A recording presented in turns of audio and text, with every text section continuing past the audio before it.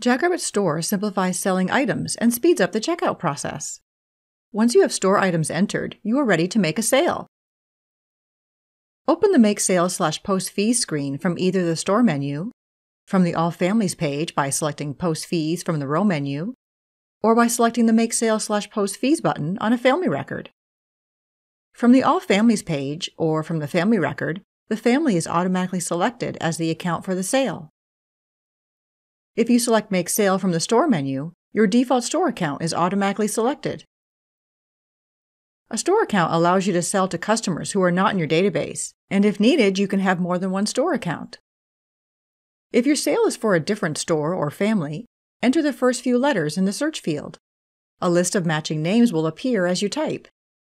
Select the correct account, and if needed, verify it with the account information. In the Select Store Items section, the item number field is a search box and will display a list of matching item numbers as you type. Enter the item number manually, use a barcode scanner, or click the magnifying glass icon to search or display a list of items. There may be more than one item matching your search if the item comes in different colors, sizes, or is sold at multiple locations. If the sale is for a family in your database, select the student and class or event if applicable.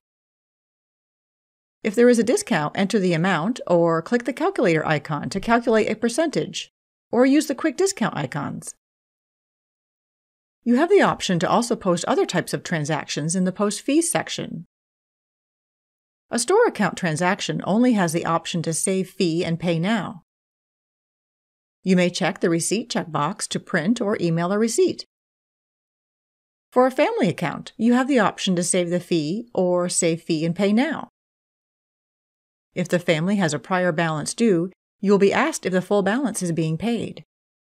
Select the fees to be paid and enter a different amount if applicable. If you have e-payment enabled, you may select either the Use Card slash account on file or Use New Card button. Otherwise, enter a payment method and click either Save Payment or Save and make another payment. Refer to our Help Center for more information.